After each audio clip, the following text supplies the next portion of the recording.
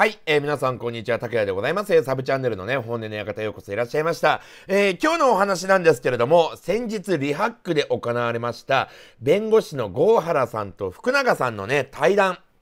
これについてですね、まあちょっといろいろお話ししていきたいんですが、今日のね、話のね、まあ中心になるのは、そのね、リハックの後の話なんですよね。はい、もうこれがね、非常にね、面白いことになっておりまして、もうね、あの、郷原先生ね、もう呆れ返ってます。はい。もうさ、見てて笑っちゃったみたいな感じなんですけれども。でね、まあ、まずね、リハックの話からね、ちょっとね、まあ、軽くね、やっていきたいと思うんですけども、まあ、このあたりの話っていうのはね、もういろんな人が動画にしてたりしまして、で、中にはですね、やっぱりね、こう、福永先生のファンの方もいればですね、えまあ、郷原先生のファンの方もいたり、またはですね、中立的に物事を見て、まあ、批判されてる方もね、まあ、もちろんいらっしゃるわけで、まあ、それぞれですね、まあ、いろんな意見があるわけでございます。でね、まあ、このね、リハックなんですけれども、まあ、私が見る限りはですね、まあ、はっきり言ってしまいますと、福永先生の、えー、大負けでございます。はい。まあもちろんね、こうね、議論なんで、勝ち負けではないというところはね、まあもちろんあるとは思うんですけども、福永先生ね、まあはっきり言って一個ね、大きなミスを犯してるんですよね。で、それがですね、一体何かと言いますと、はい、え、これがね、刑事訴訟法の239条でございます。まあ、こちらはですね、まあね、郷原先生もね、まあ何度も言ってはいるんですけども、まあね、ちょっと簡単に読み上げますと、はい、え、第239条、これ刑事訴訟法でございます。何人でも犯罪があると資料するときは、告発をすることができるっていうのがですね、まあ書かれてるわけでございます。資料するときは、はい、えー、これがですね、まあ非常に重要なんですけども、まあ端的に言うとですね、はい、えー、この人はですね、まあね、その犯罪を構成する、えー、ね、えー、そういったことをですね、まあね、やっているっていうふうに、合理的な理由がある場合に、まあ例えば検察だとか警察にですね、えー、こういった理由で、でね、こういったことが考えられるので、捜査をお願いしますっていうふうに、まあ言えるわけなんですよね。で、それがですね、まあ、いわゆるそのね、刑事告発というものになるわけでございます。ね。で、まあ、これなんですけれども、はい、え、数々のね、証拠があります。で、やっぱりですね、今分かってる限りでの、その物的証拠というのは、やっぱね、あの、楓ちゃんのノートの記事でございますね。これ、オリジナルの記事でございます。はい。これがですね、まあね、唯一のね、まあ、物的証拠になってるわけなんですけども、まあ、これをベースにして、いろいろな人がですね、発言をしております。で、そういったところをですね、まあいろいろ考えて、で、こういったことが考えられる、ああいったことが考えられる。そうなってくると、これっていうのは、まあね、その犯罪をね、構成する要素になっているって、まあそれをね、まあ証明するっていうか、まあそういうふうに考えられるっていう合理的な理由があるので、なので捜査をしてくださいっていうお話なんですよね。だからこれっていうのは、まあ、あの、裁判ではないので、で、またですね、そのね、まあ、弁護士にしてもそうですし、またね、こう、一般人はですね、捜査をする権限っていうのがないので、なので、警察や検察に、こういったね、ことがありまして、で、こういったね、あの、記事がありました。なので、これをベースに、やっぱりね、こう、犯罪を構成している可能性があるから調べてちょうだいねっていうお願いなんですよね。で、それがですね、まあ、あの、刑事訴訟法239条に書かれている、まあ、犯罪があると資料するときは告発をすることができるっていうね、えそういったところでございます。まあ、なのでね、その確実な、ね、これで有罪というふうになると思える証拠が必要かどうかって言ったら、いらないんですよ。はっきり言って。で、今現実見えてるもので、まあ、こう考えられるからねっていうところなんですよね。ところが、はい、リハックでのお話。はい、え、郷原先生はですね、一貫してですね、まあそのね、えー、告発状ありますね。これ私もね、全文読んでいるんですけども、まあそれをベースにですね、まあずっとお話をされていて、で、まあね、こう、説明をされてるわけでございます。ところが、福永先生、えー、もうはっきり言って、もうそのね、証拠は一体どこにあるんですか？どこにあるんですか？みたいな感じでさ、もうとにかくね、まあその、噛みついてるわけなんですよね。でさ、そのね、様子を見るとですね、なんかこう裁判で、検察と、ね、えー、弁護士がですね、こうなんか一生懸命やり合ってる、えー、なんかそういったような感じがしてたわけでございます。だからさ、いや別にさ、これ裁判じゃないんだからさ、だからそういうことを言う必要ないんじゃない？むしろそれを聞いたところで答えが出てくるわけないじゃんみたいな感じで、はい。なんかね、ちょっとこうなんかずれてんな、福永先生みたいなさ、あの、まあそういったような感じがね、していたわけでございます。で、まあ、この福永先生なんですけども、もうさ、そのね、リハックの後半部分になってくるとさ、なんか泣きそうな顔しながらさ、ちょっと甲高い声でさ、ギャンギャン、ギャンギャン吠えてるでしょ？これがね、もうまるでですね、こう追い詰められた子犬がね、こうね、ギャンギャン吠えてるようなね、まあそういったような感じで、まあ見えたわけなんですよね。うん、だからね、まあ非常にですね、このリハックそのもの、もうね、内容がないよみたいなね、そういった感じなんですけれども、はい。まあ中身がないね、えー、そういったようなね、非常にですね、まあくだらない、えー、まあそういったような感じだったわけでございます。まあ1時間48分無駄にしたなーっていうね、えー、そういった感じなんですけれども、でもまあこれでわかるのはですね、やっぱり福永先生がですね、まあどういったスタンスでやっていたのか、うん。っていうところですよね。だから一個の大きな勘違いと言いましょうか、その刑事訴訟法239条の部分で、それをベースにして議論すべきなのに、細かい証拠までね、なんかね、こう、明確なね、それがね、有罪となるような、そういった証拠があるんですかっていうふうに言ってるのは、これはね、もう論点がずれまくってるっていうね、えー、そういった感じだったわけでございます。で、まあ、最後はですね、まあ、これね、まあ、こう、郷原先生がですね、一個一個ね、まあ、呆れながらもですね、こうね、話をしていて、あ、納得したのかなっていうふうに見えていたんですが、はい、この後が問題なんですよ。まず、えー、福永先生。はい、えこのね、リハックの対談を終えてっていうところでね、これね、ご自身のね、YouTube のチャンネルで、またね、いろんなね、こう、弁明をされてるわけなんですよね。でさ、まあ自分のね、チャンネルでライブ配信でやってるからさ、そこに集まってくる人っていうのはね、まあ多くはですね、やっぱりその福永先生のファンの方だと思うんですけども、もうやっぱりさ、こう、リハックの時のね、まあチャット欄もそうだったんですが、こうね、いわゆるその郷原先生のね、あの言葉っていうのは、まあまあもちろんその通りだよねっていう人もいれば、福永先生のファンがですね、一生懸命ですね、この郷原先生について、ね、もう郷原先生の負けだ負けだ負けだみたいな感じでさ、もうね、めちゃくちゃになってるわけなんですけれども、このね、え福永先生の YouTube のね、その配信においてもですね、もうやっぱりですね、そのね、もうやっぱりあの時は郷原は負けだったみたいな感じで言ってたりだとか、まあ、いわゆるさ、その慰め会みたいな、はい。そんな感じになってて、でさ、もうね、ひたすらね、もう弁明ばっかりして、いや、もうやっぱりこうだ、ああだ、ああだ、ああだ、みたいな感じでさ、ずーっと言ってるんですよ。もうね、それ私もね、ちょっと見てたんですけども、なんかだんだんだんだんさ、こう、情けなくなってきて、もうちょっとね、途中で見るのやめちゃったんですよね。で、それでね、終わってるんだったらいいんだけれども、これがね、またね、ずっと長く続いておりまして、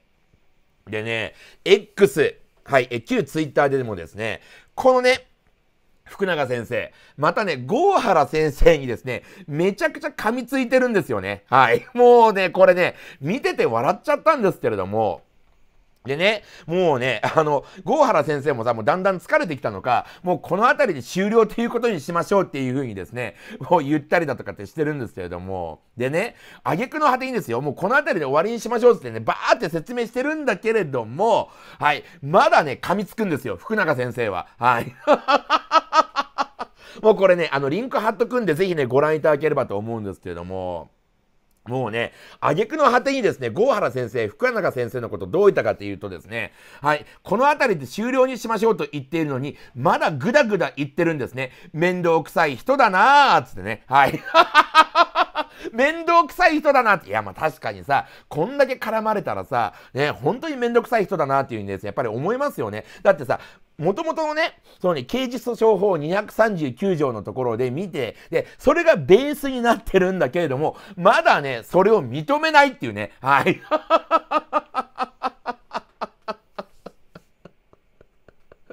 でね、まあこのあたりね、まあ福永先生も福永先生のね、方でもさ、まあ言いたいことはわかりますよ。うん。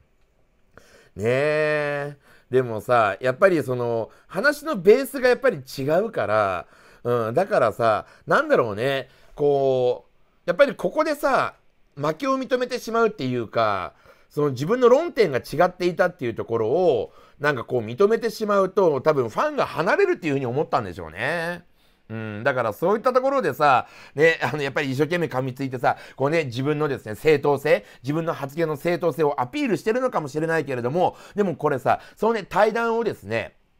をね、客観的に見てる人ですとか、まあ、あとはですね、まあ、法律の知識がある程度ある人、が見た時にですね、いや、福永先生言ってること全然なんか論点ずれてねえかっていうのはですね、まあ、すぐにわかるわけなんですよね。で、このね、福永先生なんですけれども、ちょっとね、あの、一番言ってはいけないことを言ってしまったんですよ。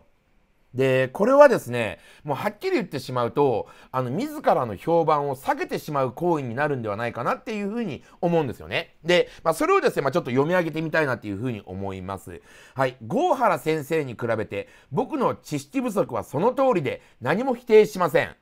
はい。まずここ。同じ弁護士という立場で、法律のプロでありながら、知識不足はその通りで何も否定しませんっていうのは、これはやばいでしょ。で、その次、はい。特艦で調査して勉強しているだけで、弁護士業自体、もう何年もまともにやってませんので、郷原先生に法律論で叶うなんて全く思ってませんっていうふうに言ってるんですよ。で、これね、特艦で調査して勉強してるだけなので、はい。それで番組に出て、あれだけ言ったんですか？これちょっとよろしくないでしょ。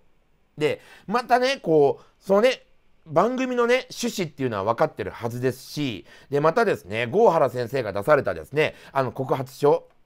告発状ですよね。え、それも見てたらですね、一体何を論点にしていろんな話をしなきゃいけないのかだとか、あの、必要ですし、で、郷原先生の、そのね、あの、一番最後のですね、その、あ、違う、告発状の一番最後にね、あの、その参考資料っていうのがね、まあ、添付されていて、その一覧が出てるんですけども、で、それとかを見るとさ、一体何がね、あの、ベースになってね、あの、話をしているのかっていうのはね、すぐわかるわけなんですよ。ところがですね、この福永先生なんですけれども、ね、特艦で調査して勉強してるだけで、いや、それさ、なんかさ、適当になんかいろんなところにさ、聞いてさ、まあね、ちょっと聞き回ってさ、情報を得たっていうところでしょで、このさ、聞き回って情報を得たっていうのは、まあ、その人はそのように言ったかもしれないけども、そこにさ、どれだけね、あのー、それがね、証拠として言えるだけの、ね、ものなのかっていうと、やっぱりちょっとね、まあ微妙なところもあるし、で、そのさ、しかもこのリハックの場で、討論の場で、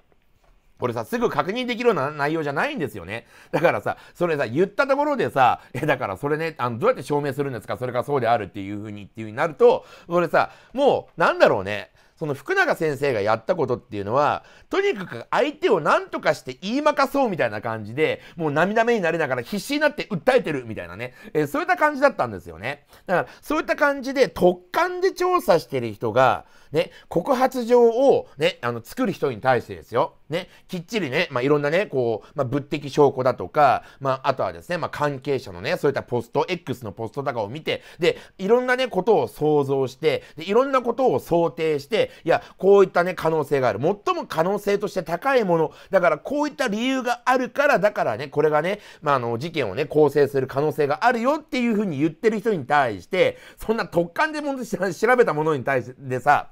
話をするっていうのは論外なんですよね。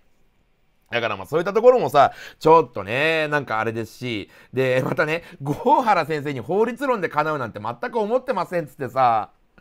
これね、もう自らさ、ね、あの能力として郷原先生に劣ってますよっていうのを認めてるようなもんなんですよね。で、この後が問題。はい。そもそも25歳も年の差がありますからね、つって、かっこ笑いなんですよ。はい。最終的には年齢差持ってきたみたいなさ、そういったところでさ、いやいやいやいや、だってさ、ね、弁護士の世界もさ、やっぱりね、いろんなね、方がいらっしゃるじゃないですか。若い方もいればね、まあ年配でね、まあベテランな方もいらっしゃるわけなんですけれども、だって法廷の場ではですよ、そういったところで戦うわけなんですよ。だからさ、25歳も年の差があるからさ、だから叶わないのはしょうがないよねとかっていうのはさ、それってちょっと違うでしょう。ね、これはさ、自らの評判を下げることになるわけですからね。で、またですね、あの、ね、若、若手の人でもさ、やっぱり優秀な方っていてさ、若手でもいろいろ考えて、で、まあね、そういった裁判の場とかでさ、ベテランの人と戦ったりするわけなんですよ。だからそういったところで、ね、この福永先生のこのね、え X のポストっていうのは、まあ、自らの評判を下げるっていうね。うん、でさ、これね、なんかすごくさ、負け惜しみみたいな形で言ってるんですけども、僕自身の評価とかはどうでもいいです。クライアントもいないので、笑いって書いてあるんですよ。はい。なんだよ、これ。もうちょっとさ、プライド持ちましょうよっていうね。まあそういった感じで、で、最後がね、これね、めっちゃ面白いんですけども、実際、郷原先生の刑事告発が想像以上に軽々しく行われていたとの考えに至ったというコメントが無数に来ています。はい。リスナーさんのね、コメントをここで言ってるんですよ。で、このリスナーさんのコメントっておそらくですね、ゴー、あの、福永先生の、えファンの方だと思うんですよね。はい。だってさ、告発状を見ればさ、ちゃんとね、あの、こういったね、ものがありました。で、これがね、こうでね、つってさ、そんな分析だとかそういったところで、きっちり書かれているのは、これね、読めばすぐわかるんですよ。はっきり言いますけれども。これ私も読みましたからわかりますが。だからさ、ね、そうやってさ、ね、告発状本文も読んでないかもしれない、ね、人のですね、そういったコメントをですね、ここで言って、でね、刑事告発が想像以上に軽々しく行われたんだよってね、えいうコメントを出してくるっていうのは、これもね、論外でございます。はっきり言いまして。はい。だだからそういったところを考えるとね、まあちょっとあの、福永先生ね、うん、あの、私もですね、あの動画はですね、まあ何本かちょっと見させていただいたわけなんですけれども、まあ、もう今後見ないね。はい。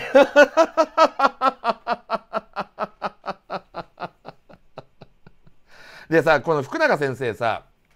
あの動画ね、結構出してるんですよ。で、結構な頻度で出してるんですよ。でね、そのね、ニュースが出た時のタイミングと、動画を出してる時のタイミング。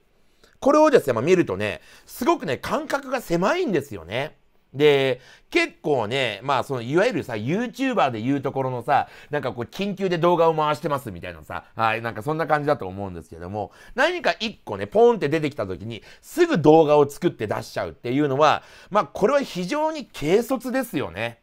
うん。で、一個一個に反応していくっていうのは、まあ、いわゆるそのさ、YouTuber だったらいいんですよ。ね、こんなことがありましたっつってさ、出してさ、言うのはいいんだけれども、でもさ、そのさ、裏側ってさ、多分いろいろあると思うんですよね。だから、まあね、福永先生も、弁護士というふうに名乗ってるんであれば、もうちょっと分析はしていただきたいなっていうふうに思いますよね。うん、なんか結構ね、外でね、こうね、動画をさ、こうでね、こうスマホで撮ってるかどうか知りませんけれども、ね、なんかやってるのはまあ見てはいますが、うん、でもやっぱりちょっと、うん、軽いかなっていう感じはしますよね。はっきり言ってね。うん、で、やっぱりこのように X でなんか負け惜しみみたいな感じで、なんかこう、自分のね、そのさ、年齢差を出したりだとか、ね、あのー、そのバックグラウンドみたいな感じで言ってさ、その郷原先生にかなうわけございませんとかっていうふうに言うのは、やっぱりね、法律のプロとして、まあ、弁護士という立場である以上は、やっぱり、そのね、先輩後輩っていうのはあるかもしれないけれども、でも法廷の場に立ったらさ、やっぱり対等なわけですよ。だって対等で戦っていかなきゃいけないわけだからね。だからそういったところをね、まあ見ると、やっぱりこういったね、あのポストをしたりですとか、まああとはね、そのリハックの場でもそうですし、また場外乱闘でね、X 上でこうやってやり取りするっていうのは、やっぱりうん、良くないし、で、どんどんどんどん、やっぱり惨めになりますよ。本当に。うん。で、僕もそうですし、ね、もうね、もうこの人の動画も見ないわってなるし、で、やっぱりね、そのね、コメント欄とかを見てみると、やっぱりこう、ちょっと幻滅する声っていうのもね、ちょこちょこ散見されたりするわけでございます。まあだからそういったところを見るとね、やっぱりこう、うん、続ければ続けるほど、自らの評判を落とすことになるので、うん、だからまあもう少しですね、あの、ちょっと冷静になられた方がいいんじゃないのかなっていう気はしますよね、本当にね。うん、なんか見ててどんどんどんどん残念に思ってきますもん。うん、私もね、最初の頃ね、ちょっとね、動画を見てたんで、まあだからね、あの、そういったところで、あなんか残念だなっていう気はしますよね。だからある意味、こう、ファンのためにも、うん、ね、ちゃんとされた方がよろしいんではないでしょうかっていうのが、まあ私からのご意見でございます。はい、えー、ちょっとね、まあ弁護士の先生に対してですね、えー、そのようなことを言うっていうのは、まあちょっとあれなんですけれども、うん、でもまあ見ててですね、あの、ちょっとだんだん、ね、あの、かわいそうになってくるなって、やっぱそんなことを思ったわけでございます。ねえ。日本一稼ぐ、さえー、何？これ。日本一稼ぐ弁護士の最強メンタルとかつってさ、はい。最強メンタルの持ち主がリハックで涙目になりながらあんなことね、ガンガン吠えますか。うん。ね、あのー、まあね、ご自身の本をですね、まあ、ご紹介されてるわけなんですけども、あのようなね、あの状況を見てしまうとですね、これもですね、あ最強メンタルですかっていうふうにですね、え、ちょっと思ったりもしたわけでございます。まあ非常にですね、まあ残念だなっていうふうに思ったのが、まあ今回のリハックのお話でございました。はい、えー、というわけでね、まあね、今回の動画は以上となります。それでは皆さん、また次回の動画でお会いしましょう。それではまた。